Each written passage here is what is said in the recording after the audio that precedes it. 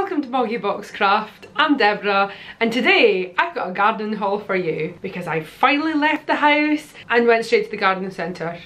So I thought I would share my little gardening shopping haul with you guys. So the first load of items are from Dobbies and then some items from B&Q.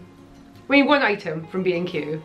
It's a really good item and I'm really excited for it for in the garden. So the first thing I got from Dobbies was set onions. They've got four different types of onions and they're all onion sets as well. So in each of these packs there's 50 onions and these were £2.49 each. So we've got electric onions, they're a red onion. I really wish these things had more pronounceable names. How am I to pronounce this? We've got a yellow onion, Sen Shui, Shen Shu, Senshu? Senshi. Shuyu. I don't know how to pronounce these, but Senshu? Yellow onions? They look nice, don't they? They look like they've got lots of potential. We've got Radar onions and autumn champion onions. So all these onions are for autumn planting. So I'm quite excited to try that out. Next up, I found some climbing French beans. Johnson's climbing French beans in speckled cranberry. They look really cool, don't they? I've never seen beans this colour before. I mean, I've tried Shiraz mangetout before. They're like a really deep burgundy wine colour. They're beautiful and they've got the most beautiful pink flowers. But I've never tried these before. And um, it does say they're new to Johnson's. Obviously Johnson's the brand. So we won't plant this right now. I've just bought them because they looked really nice. How much were these? Can't see anything on this. Gosh, maybe I need to get glasses. So these were £2.85. I don't think that's just too bad for such an unusual looking bean. I'm quite excited to try these. Obviously I won't be planting these until next year. So apparently I can sow between April and July and harvest between July and October. Well, we'll see about that. They look like they'd be easy enough to grow. Hmm. but since we live in Scotland, let's not speak too soon. We shall wait till next spring and find out what these are like then. So I have started growing flowers. This is my first year growing flowers, as some of you may know. Some of it's gone really well, some of it not so much. We did have a few misses with the sunflowers and the wind and the weather, but Hi Scotland, I see you there. My Himalayan blue poppies, my Chinese lantern and my hollyhocks and my passion fruit flower. None of those have flowered this year, but I think because I've grown them from seed, now the plant's established, we'll get flowers next year. Hopefully. maybe, maybe not, I don't know. We'll find out next year. The next thing I got was tulips. I've never grown tulips before. So this is tulips the tall collection because I'm not tall so maybe I can have flowers that are tall. Saying that though, the height on this is 45 centimetres. Is that tall for a tulip? I don't know. I've never grown a tulip before but I seen the picture on the front and I thought they're pretty. I'll get some of those. So what do we get in here? 20 bulbs. How much were these? Oh wow. So these were 7.99. Is that a lot for flowers? It recommends lifting them and then planting them again. Am I really going to do that? Probably not. I'll just probably just plant them and we'll see how it goes. And if we need to lift them move them around and store them and all that jazz, I don't know if I'll be doing that. Maybe, maybe I'll have more enthusiasm for it next year. So, we can plant these from August onwards as well. I think I'm just going to dot them all around the garden. I'm not sure where I'm going to put them yet. Ideal for borders. My whole garden is a border. So I got a little bit carried away with the flower situation and found these two. We'll start with these. It's an iris. I'm not going to try to say this name down here because, hmm, I would butcher it. Look how pretty they are. They're lovely. Okay, there's only nine bulbs, but you can leave these ones in the ground and apparently they'll regrow every year, which is ideal. Because one can sometimes be a lazy gardener because life people are busy. We don't have time to lift bulbs and do all the things. We just want the garden to be beautiful as much as possible, you know. Holler if you agree, you know. Ooh, ideal for naturalising. Never heard it called that before. I thought it was just per being perennials. Is that what it's called? Ideal for naturalising, in brackets, leaving in for flowers year after year, close bracket. In rockeries and edge of borders, also suitable for containers. Huh. And again, plant from August. In fact, all of the flowers I got are plant from August onwards. So I should be planting them sometime soon. And lastly, I've got these tulip little beauties. How pretty are they? They're super pretty, aren't they? So these are a special miniature variety. Oh, 10 centimetres high. Just itty bitty. Oh, they're going to get dwarfed by the rest of the garden, aren't they? Don't worry, I'll put some in pots and we can enjoy them that way instead. so cute. Although saying that now, I've thought this before, bought it, and then when they grow and you look at them you think, oh, it's not quite how I thought they would be. Either I haven't realised how small the flower is or how big they're going to be. But I'm new to this flower gardening business, so yeah, we're just going to enjoy the journey, okay? So both the iris and the tulips were 4.99. They flower April to May and they're February to March, so at least I'll have a bit of colour in my garden to start with. Again, Scottish weather. It's probably going to be more March with a cold here, but looking forward to those. So we'll get them planted in a little whiley. And on the subject of flowers, I got these. Can we just appreciate how beautiful these are? They don't even look real. They look like paper. I think they're called Dianthus flutterburst. Flutterburst? Hi plant friend. Who doesn't need a plant called flutterburst in their garden? I was like, no dudes, with a name like that you're gonna have to come home and live with us. So these were $4.99 but I would say these were just so worth it. What does it say about these guys?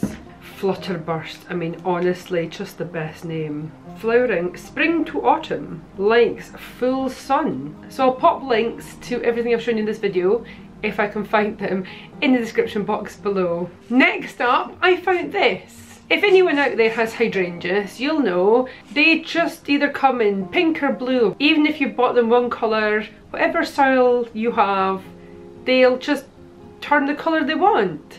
So I stumbled across this hydrangea colorant. Why do hydrangeas change colour? So the hydrangea's flowers can change by adjusting the pH of your soil. So when the soil is alkaline, the flowers are pink, and the soil is acidic, they're blue. Apparently we're making the soil more acidic. We will find out if you work, shall we? Because both my hydrangeas are pink. They're in pots as well, and it does say I can do that with this. So it's by Westland, Hydrangea Colorant. Changes pink hydrangeas to blue how much were you? $5.99. So I don't know if this will work this time of year. but I'll be trying out this in the next few garden videos I upload and you will be able to see if this works on my hydrangeas and it changes them to a blue colour. We can find out together. Next up, gloves. Who doesn't like a nice gardening glove? So I got this triple pack. Think these were like $9.99. There was other ones there that had lemons on them and they were like, I think it was a pack of three for like five or six pound. But then I seen these ones and they've got flamingos on them. Of course I'm going to pick the ones with flamingos. Can't believe I got excited about gardening gloves, but here we are. One minute you're young and cool, the next minute you're turning down the car stereo to see better. We've got three pairs Obviously it's a pack of three. The inside they've got these little grips. I don't know why I'd want grips on, I'm sure I, uh, grips are useful, I'm sure. I'm pretty sure the soil just sticks to everything. Oh, they're nice. Obviously they're not waterproof, these are just cotton. But I think it just protects your hands when you're out digging in the garden, doing your thing. Obviously I've got nails to protect, so it's a necessity as it's not. Although I'm quite renowned for digging in the garden and not giving one jot about what my nails are doing, to the sadness of my poor nail tech, bless her. I don't know how she deals with me and my nails. So two of the pairs seem to have these pink bands here and these ones have got white but the glove part seems to be exactly the same on each of these. So they're Briers in a medium. High grip comfort fit stretch cuff. Love these. I have had ones like these before and they're good. I can also paint in them without my hands getting like sometimes if gloves are too waterproof your hands can get really sweaty and that's not enjoyable so yeah I quite like the cotton gloves on to the next thing now I know this isn't gardening but I thought I would just share it with you anyway got a spatula because winter's coming. We've all done a lot of baking in lockdown, so my spatula is a bit destroyed, my old spatula. Seen this, I thought this is really cute, although did not realise how expensive this was. $6.99 and it's called a dough scraper. $6.99, isn't that a lot for this? She says after spending a gazillion pounds over the years on the garden, 6.99 is not going to break the bank. Just such a lovely baby pink. It's nearly like a hint of lavender on the handle. I really like this. The spatula is from the Berkman company. Don't know why I've added this in, but here you go. Spatula. This is probably another one of those little cute items that, did I need it? Probably not. Do the birds need it? Absolutely. Have you ever seen such a cute bird feeder? What do you think of the bird feeder? Okay, well you just lie yourself in there. Compact squirrel-proof seed feeder. That's a really tongue-twisty thing to say. Can not just say bird feeder?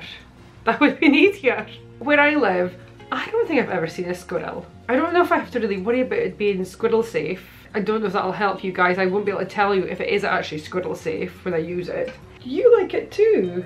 I seen this and I thought, yes, I need that. The birds will appreciate that.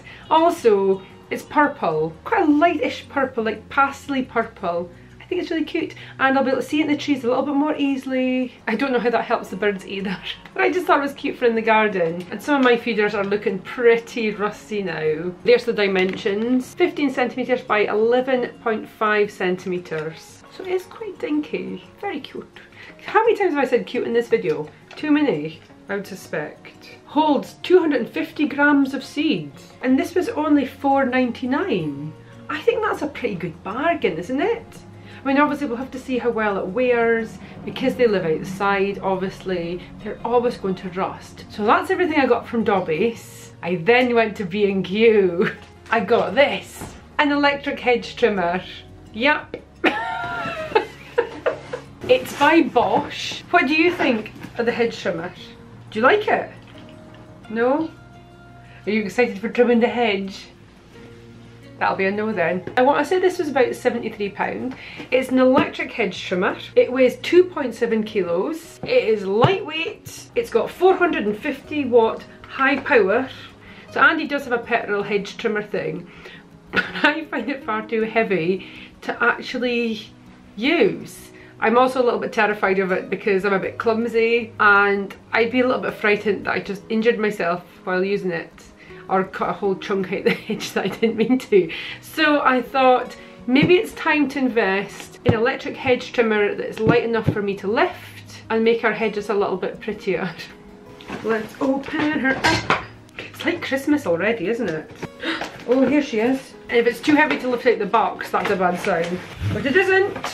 Zing, zing, zing. Obviously, I'm not going to plug it in because we're inside. Do we need an instruction manual? Probably. Safety, safety, safety, safety, safety. She is an AHS 550-16. She's a hedge cutter and she is powerful. Oh, and it's got pictures. That makes things life so much easier. I love a picture. Okay, okay, so this is how we cut the hedge. Zing, zing, zing, zing. Okay, lovely. I think we'll reserve judgment until we see me actually trying to cut the hedge with this. Anyway, it's enough about that. We don't need instructions. What I will say is I think I've got a good amount of lead here, but I will probably need to use an extension cable with this. 97 decibels. We might need some ear protectors as well. Obviously, if you're going to get a hedge trimmer, use safety precautions. Be careful. These are quite dangerous things. So be careful, you know? It does come with a safety shield over the blades that just slides off. So we're going to keep that on right now. Handle here for grip, handle here for grip. Just practicing, you know. Because I've never used one of these before, I think it's just going to take a little bit of practice for the weight and the action for the hedge trimming. So here's my nice, beautiful new Bosch hedge trimmer. And I think this one is supposedly for medium jobs. Hedge trimmer, seeds, bird feeders. We're ready for autumn and winter. So if you've enjoyed this gardening haul, leave a like, leave a comment and tell me which item is your favourite or let me know what you will be buying to see you through the autumn and winter for the garden. Subscribing is of course optional but it is very much appreciated and feel free to share this video with anyone that you think might find it useful or entertaining. Thank you so much for watching and I'll see you guys next time. Bye!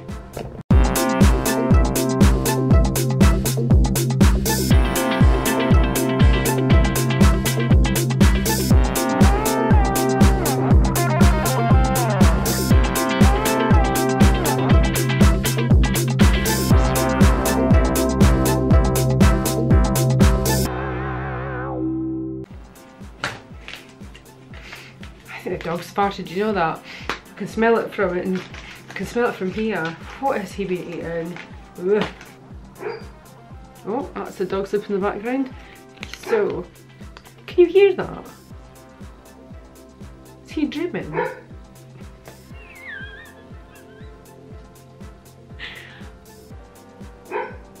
That's him, that's him dreaming. It's a dreamy dog noise. Is he done? Apparently that's all the dreams there are for today. We've been for our walk today so the dogs are having a nice nap now while I get on with the things. Are you coming to join me? Was you dreaming? Come on then, up you come. Come on then, you coming up?